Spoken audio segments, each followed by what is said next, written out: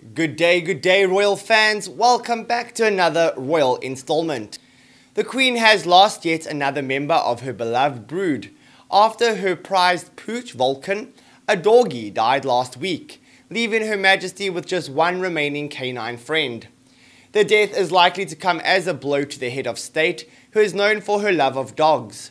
Royal experts Omid Scobie and Maggie Rowley reflected on the loss and how it would impact the already isolated sovereign, who has had a difficult month.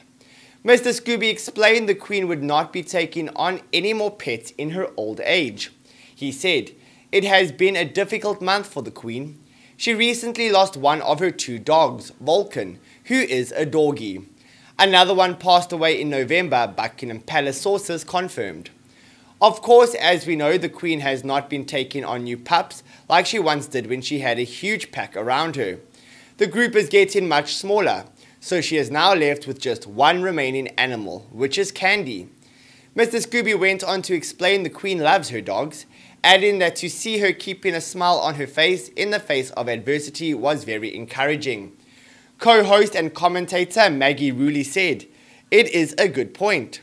It is a very tough time for everyone right now, and especially for older people as well.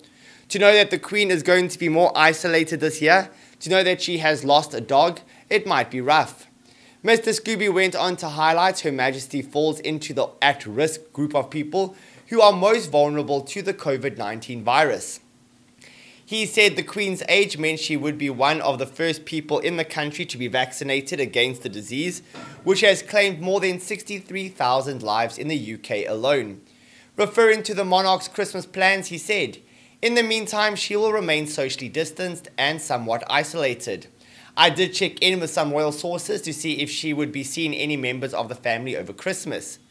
And sources do say that Prince Charles and Camilla, the Duchess of Cornwall, although they will be at Highgrove for Christmas Day, do plan to see the Queen and Prince Philip over the Christmas period.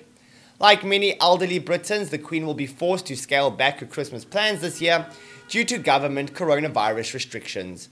A brief break in restrictions between December 23rd and December 27 will enable families from up to three households to come together in groups of up to eight people to form a bubble over the festive period. The Queen would usually spend the Christmas holiday at her lavish Sandringham estate in Norfolk, but this year will be having a quiet back affair in Windsor with husband Prince Philip. It is the first time in 33 years the monarch has spent the holiday alone with her beloved spouse.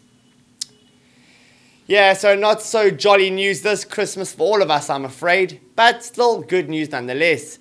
I'm sorry to hear about the Queen's loss. Thank you for watching today's installment, guys. Please like, comment, and subscribe, and tune in later for more royal news. Goodbye for now.